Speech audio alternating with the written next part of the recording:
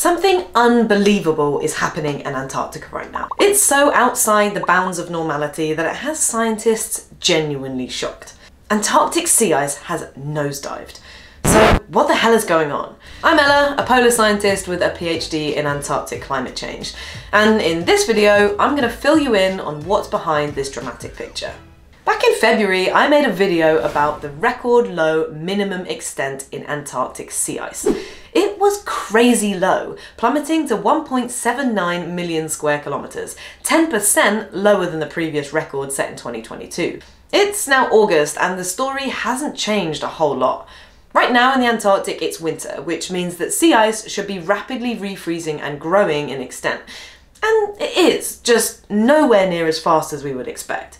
Compared to the average for the last few decades, there's about two and a half million square kilometres of sea ice that's missing. If the missing sea ice in July was a country, it would be the 10th largest in the world. Antarctic sea ice has had polar climate scientists scratching their heads for a very long time. Despite what you might expect in a warming world, sea ice had been slightly increasing in extent since 1979, and in 2014 it climbed to a record high. Experts had their theories, but no one really knew exactly why. But that all came to an end with a stunning crash in March 2017. 2017 was the beginning of a series of low sea ice years that hasn't stopped. Sea ice never returned to its previous heady heights, and the minimum record was broken again in 2022. And then, then, there was 2023. If you want to see just how different this year is from previous years, you couldn't do better than looking at some of the wicked graphics from Zack Labe. In fact, you might have already seen some of them floating around the internet. So, who better to ask about what's going on? The amount of sea ice this year is way less than the 30 year average. In climate science, we tend to look at 30 year periods. So we essentially call them climatological averages. And we do this because we know that there's lots of year to year variability due to things like weather. And so what we do is then we compare like a specific year. So for example, 2023's average sea ice conditions we compare that to the 30 year average, and therefore we can see how much does this particular year how much is an outlier compared to those 30 years, that sort of normal, quote, normal period? And this is where we see this huge anomaly this year. In the Arctic, we we know very clearly that there's been a long-term decline in the amount of Arctic sea ice due to anthropogenic human-caused climate change. However, in the Antarctic, because of sort of this difference in sort of the amount of ocean and land, we've actually have not observed sort of a long-term trend. So, what we're concerned about right now with this year is trying to understand if we're starting to see a sort of climate change signal.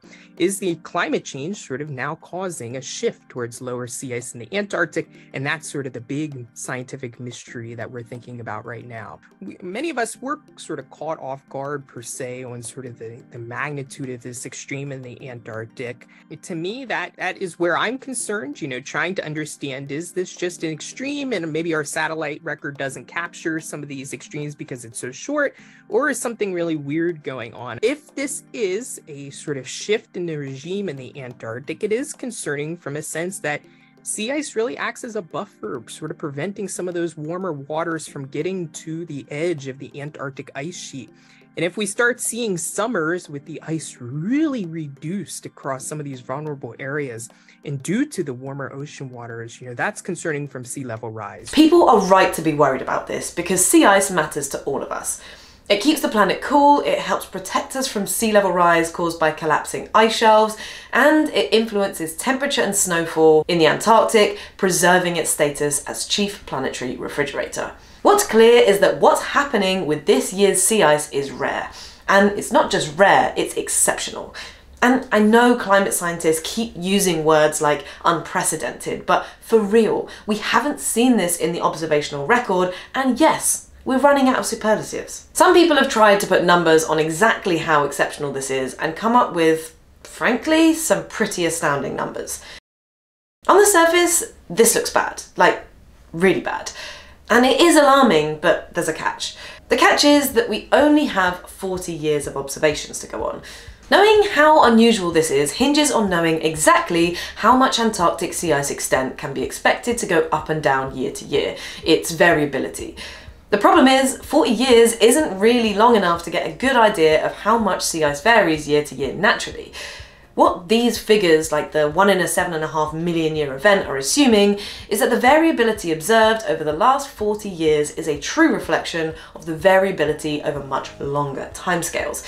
And scientifically speaking, that's a big assumption. These striking numbers come from estimates of sigma, a cute little Greek letter that describes how rare any particular measurement is in comparison to the whole record. The higher the sigma, the more unlikely the thing is to occur by chance. We know that July 2023 was a crazy low ice extent compared to the satellite record. That's what you're seeing here. All the individual years are shown in green and the black is the average. And that pink line, that's 2023. It's clearly way off normal. What you're seeing here is a supposedly 5 or 6 sigma event. In other words, something extremely rare. But as I said, we've only got 40 years of data, so who knows whether it's really a 1 in a 7.5 million year event or a 1 in a 1,000 year event. We just can't say for sure. Now, as luck would have it, when I was planning this video, an email dropped into my inbox announcing the release of a brand new Antarctic sea ice reconstruction dataset that goes all the way back to 1905. Seemed like a sign from the universe that was just too good to pass up. So I figured that I would crunch some of the numbers for you to see exactly how July 2023 stacks up in the longer term context. And this, drumroll please, is what I got. The black line is observed winter sea ice from satellites.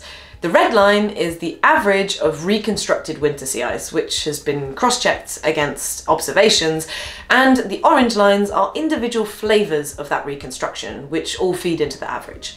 Oh, and That's 2023. I did a back of the envelope quick calculation of sigma and I was pretty surprised to see it vary from about 4 to 11, depending on which of those orange lines I chose.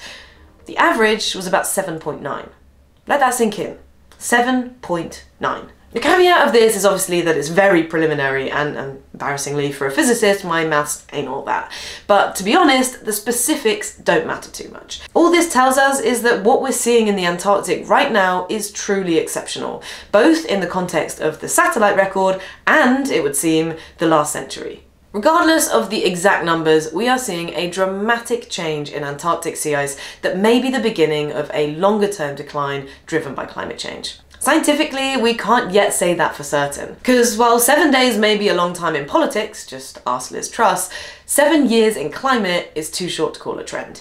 But if you're asking, my hunch, and I guess that of a good number of my polar colleagues, is that this is the beginning of a climate change driven drop. I think you're going to get a different answer with every single polar scientist you talk to. So maybe in six months, you can ask me again and I'll have a different answer. But for now, you know, I think we still need a few more data points to really disentangle what is going on in the Antarctic. Thanks for watching. If you like this, make sure to check out my other polar science videos and I've put them all in a helpful little playlist for you somewhere up here. And finally, big thanks to my Patreon subscribers.